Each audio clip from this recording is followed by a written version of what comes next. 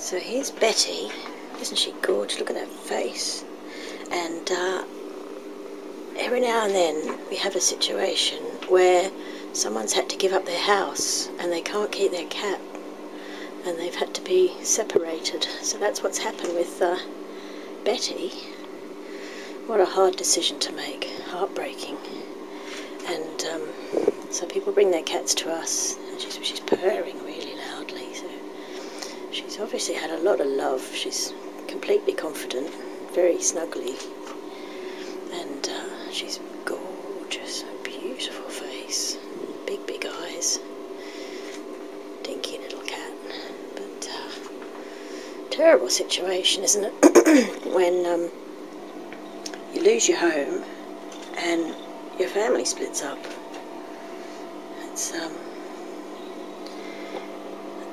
you know, the the only comfort from that is that your cat finds someone else who's going to give them lots of love and care and safety, and, uh, and and we do that. We find the right people, a good match, the right match for people and cats, and. Uh, we're really careful about how we match up situations and you know homes and lifestyles and cats and uh, they work out really well. And we often hear from people afterwards they send us photos and even videos sometimes or post on our facebook group and uh, give us little updates. And we call them pclt cats pussycat lodge trust cats out there in the world like our graduates.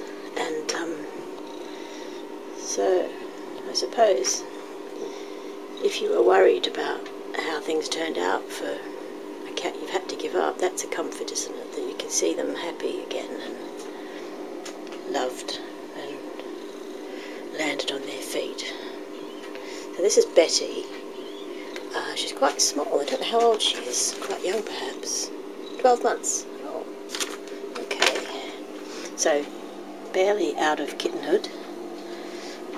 Teenager, really. She's absolutely adorable. Fluffy, slightly fluffy tail, lovely soft fur and very elegant and uh, chic. Gorgeous, and listen to that purr. Oh, careful, don't fall off. what is it? What's that thing?